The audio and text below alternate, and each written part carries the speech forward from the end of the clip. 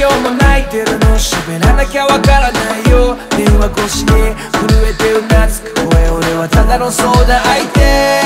別に下心とかなしに惚れない友達をやっていた。けど次第にその弱さ見るたびに惹かれてる自分がいると気づいた。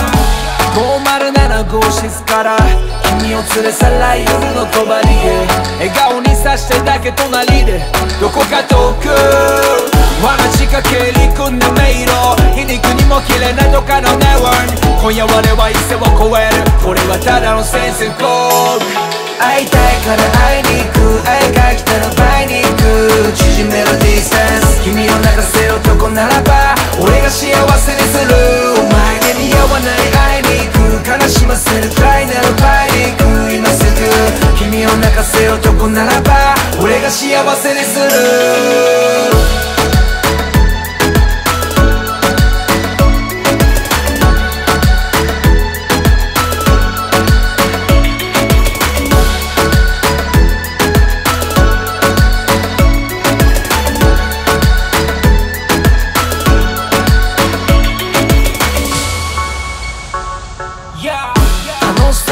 顔笑ってるでもミステリアス弾む会話二人だけの車内俺はただの相談相手そんな男ならば答えは簡単でそれなのに君は悩んで気にしてる着信のもと忘れさせてしまいたいよもう507号室から君を連れ去ら夜の帳へ。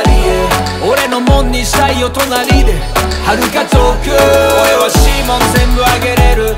俺なら手あげるよりも頭撫でる。好きなことしてあげる。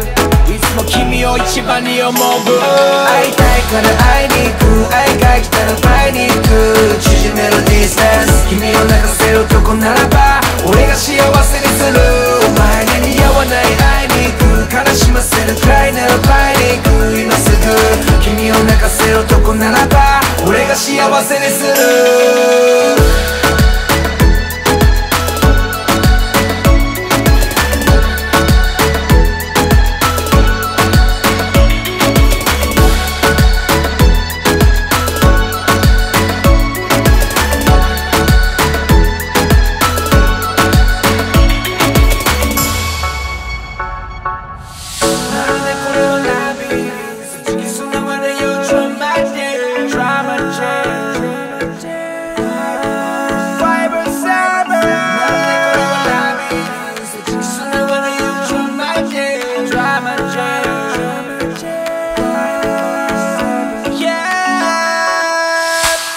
会いたいから